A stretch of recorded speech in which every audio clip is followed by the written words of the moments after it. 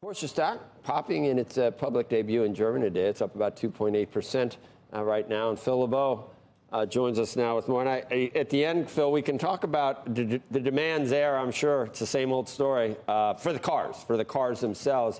Uh, how's the supply sure. of, of the great, the ones that people want? Is it, is it loosening up or still, still tough?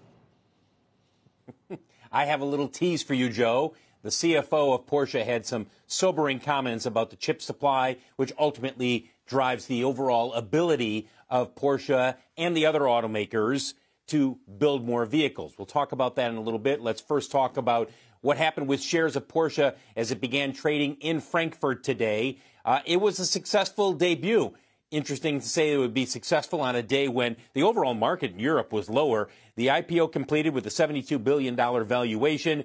Global sales, by the way, in the first half of this year, down about 4%, coming in at just over 145,000 vehicles. So you might be saying to yourself, okay, in terms of the German luxury automakers and their market caps, where does Porsche figure in compared to Ferrari, Mercedes Benz, BMW? There you see, it's below Ferrari and well below what you see for Mercedes and BMW. But keep in mind, they're only doing a public float of 10% of Porsche. So as you take a look at shares of Ferrari, the reason we're showing you this is we're going back and showing you Ferrari all the way from its IPO. And I remember when this IPO happened, a lot of people said, why is Sergio Marchionne doing this? Is this just a money grab? Are they trying to get people to buy some of these shares? Are they really going to be able to be a good investment? Oh, yeah, it's been a really strong investment, uh, the best outside of, tele- of, Tesla in the auto industry since its IPO. And when you look at Ferrari, it hits, it's raised its full year guidance this year. They did that in August. They're still seeing strong demand right now.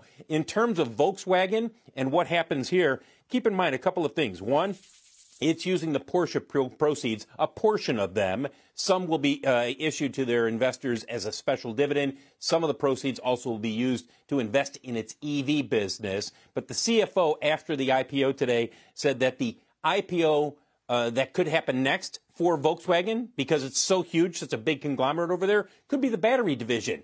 And in terms of the business itself, Joe, to get to your question, the CFO of Volkswagen says, you know, that chip shortage we're all seeing in this uh, auto industry around the world, that could extend into 2024. Think about that. It's getting better, but it could extend in terms of the overall shortage into 2024.